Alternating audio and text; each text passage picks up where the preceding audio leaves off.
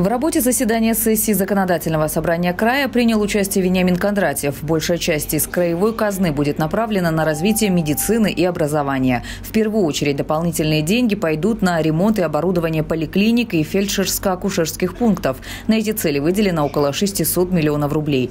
Губернатор отметил, что поправки, которые сегодня внесли депутаты, позволяют назвать главный финансовый документ края бюджетом развития. Важно, чтобы средства пошли на улучшение качества жизни кубанцев финансов. Финансирование увеличено и в части социальных выплат. Социальные пособия, льготы, мы сегодня их где-то увеличиваем, наращиваем. А ведь наша стратегическая задача сделать так, чтобы люди не нуждались ни в льготах, ни в социальных пособиях.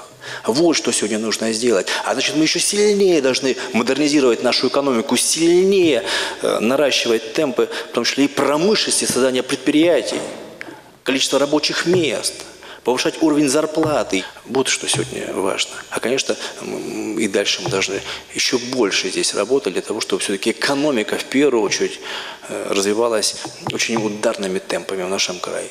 Это все от нас зависит, от наших приоритетов. Деньги из краевой казны направят и в реальный сектор экономики. Фонд микрофинансирования увеличится на 500 миллионов рублей и составит полтора миллиарда. Таким образом, краевой фонд станет первым по объему в стране.